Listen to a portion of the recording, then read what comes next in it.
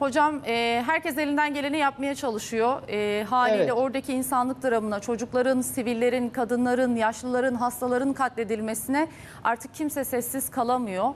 Ve bir paylaşım yapılıyor. 50 milyon yakında paylaşıldı. All Eyes on Rafah diye. Öncelikle bu sloganı sormak isterim. Neden bu seçildi?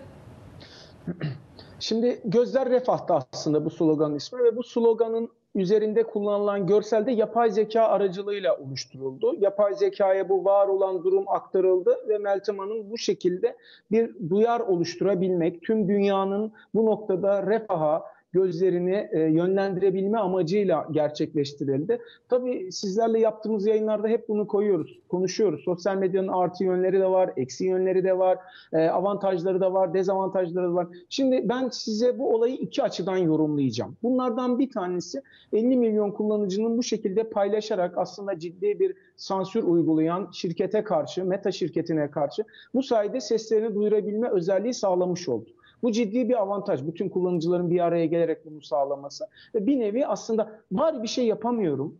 Bari elimden bir şey gelmiyor. En azından sosyal medyada bunu yaparak bu paylaşımı tabiri caizse akıma ayak uydurayım ve ben de aslında e, orada refahtaki o e, canların ben de yanındayım anlamına gelen bir paylaşımda bulundu. Bu işin artısı. Ama tabii bu işin eksileri de var efendim. Bu işin eksisi e, şu.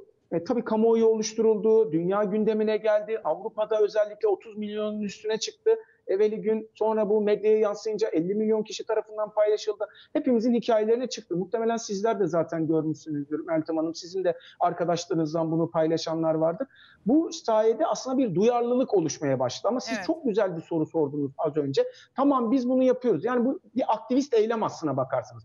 Dijital aktivist bir eylem. Evet biz bunu yaptık ama gerçekten amacına ulaştı mı? Bunu sorgulamamız lazım. Bir ikincisi biz bu akıma katılarak acaba kendimizi burada fişlettik mi? Yani bu Instagram kullanıcıları sonuçta belli. Bu işin içerisine giren, bu akımın içerisine dahil olan kullanıcıların kim olduğu şu an ilgili sosyal medya mecrası tarafından tutulmuş oldu.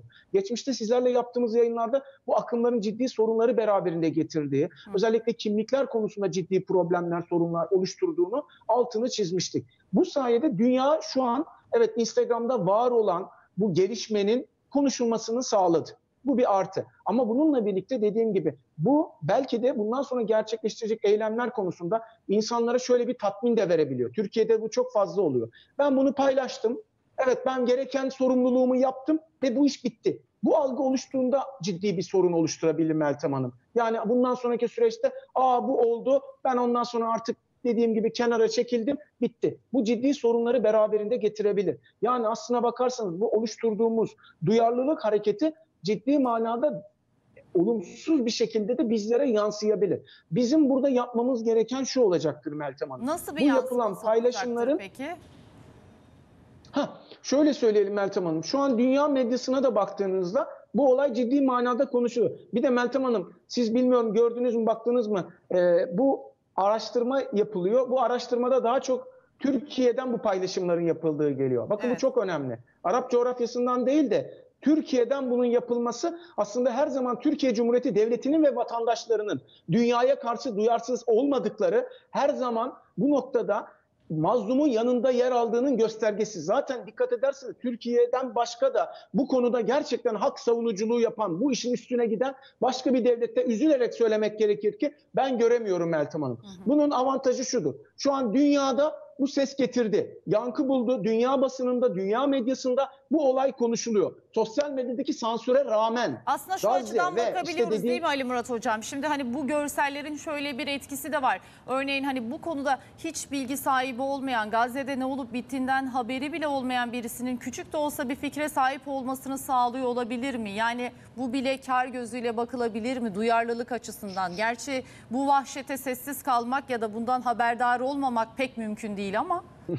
yani yani ama işte sosyal medya biraz hayatımızın merkezinde yer almaya başladı. Dünya genelinde de baktığımızda sosyal medya kullanımı yaygınlaştı. Medyada gördüğü bir içeriğe kayıtsız kalabilir ama sosyal medyada gördüğü bir içerik, arkadaşı tarafından paylaşılan bir içeriğe insanlar böyle bir olay varmış diyebilir ya da en azından kafasında kuşkuları varsa, şüpheleri varsa o en azından giderilmiş olabilir. Ya gerçekten böyle bir olay meydana geliyor.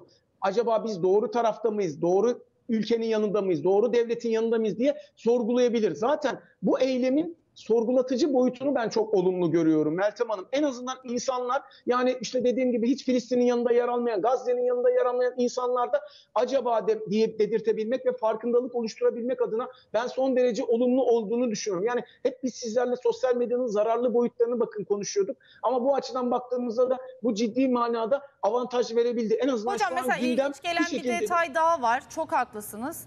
Ee, şimdi hakikaten orada bir ses e, belirtmek için bunu paylaşanlar var. Bir de hakikaten sadece herkes paylaşıyor diye paylaşan var. Birkaç dakika sonra mutlu bir anını da paylaşıyor mesela. Evet, Oradaki evet. yani bu inandırıcı mı peki? Ya da sosyal İşte medyanın bir yüzü mü işte bu bize? Ha işte güzel insan. Sosyal medya şu. Sosyal medyada fast food kültürü var. Yani hani bir restorana gidiyorsunuz, hamburger, patates yiyip çıkıp gidiyorsunuz. Ondan sonra başka işlerin peşine koşuyorsunuz ya. Burada da öyle. Hızlı üretim ve hızlı tüketim söz konusu. Yani siz orada bir nevi duyarlılık ortaya koymuş oluyorsunuz. Oradaki acıya, zulme dediğim gibi kayıtsız kalmadığınızı gösteriyorsunuz. Öteki taraftan dediğiniz gibi çok gülen bir yüz paylaşıyorsunuz. Bu durum ne sağlıyor biliyor musunuz? Duyarsızlaşmaya sebebiyet veriyor. Onu bir zorunluluk olarak paylaşıyorsunuz ama gerçekten bu sizin içten bir şekilde bunu yaptığınızın önüne bir ket vuruyor. Dolayısıyla biraz sanal ortamdan e, uzaklaşmamızın ben son derece önemli olduğunu düşünüyorum. Realist olabilmenin son derece önemli olduğunu düşünüyorum. Sosyal medyayı kullanacağız ama sosyal medyanın bağımlısı olmayacağız. Sosyal medyanın sonuna kadar e, işte arkasında yer almayacağız. Kıyas ve mukayese edeceğiz. Dijital okuryazarlık, dijital farkındalık bundan kaynaklı önemli. Yoksa medyada yankı buldu ama onu gerçekten işten yapabiliyor muyuz? Bu belki de bizim tartışmamız gereken konulardan biri. Çünkü sosyal medya sabun köpüğü. Her şey sabun köpüğü. Paylaşımlarımız sabun köpüğü, akımlar Evet. Ee, yani Ali Murat Hoca çok önemli bir konuya değindi. Şimdi o görseli bir daha alabilir miyim? Şöyle ki 50 milyon paylaşılan bir görselden, görüntüden bahsediyoruz. All Eyes on Rafah. İşte bu gördüğünüz görüntü. Sosyal medya kullanıcıları yaklaşık 3 gündür bunu paylaşıyor. Özellikle de Türkiye'de paylaşılan bir görüntü. Tam 50 milyon kullanıcı tarafından sosyal medyada paylaşıldı. Ama hani hep birlikte elbette soruyoruz. İyi niyetlileri var, kötü niyetlileri var ya da bunu sadece bir moda gibi uygulayanlar var. İşte bu yüzden diyoruz ki gerçekten tüm gözler refahta mı diye. Şimdi bildiğimiz kadarıyla da bu görsel yapay zeka ile oluşturulmuş ve zaten kaynağı da ABD. Yani paylaşımı yaptığımız sitelerin neredeyse hepsi Amerika'ya ait. Amerika'nın Filistin konusundaki görüşü artık açık ve net biliyorsunuz. Savaşın başından bu yana koşulsuz şartsız desteği sağlayan ülkelerden bir tanesi Amerika. Şimdi İsrail'e bir desteği var dedik. Peki bu paylaşımı yapan Instagram kullanıcıları Amerika'nın veri tabanında kayıtlı hale geliyor mu? Şimdi bir risk taşıyor demiştik. Şimdi o riski yine Ali Murat Hoca'ya sormak istiyorum.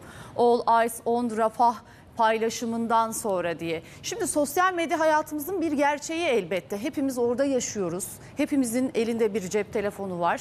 Elbette güçlü bir ses çıkartmak istiyoruz. Çünkü canlı yayında burada hepimiz izledik. Bundan haberdar olmamak pek de mümkün değil haliyle. Şimdi bir e, duyar kasanlar da var ama buradaki çocukların, yaşlıların, hastaların, oradaki masum sivillerin katledilmesine, hastanelerin, çadırların bombalanmasına elbette hiçbir Türk vatandaşı sessiz kalmadı, kalamaz da.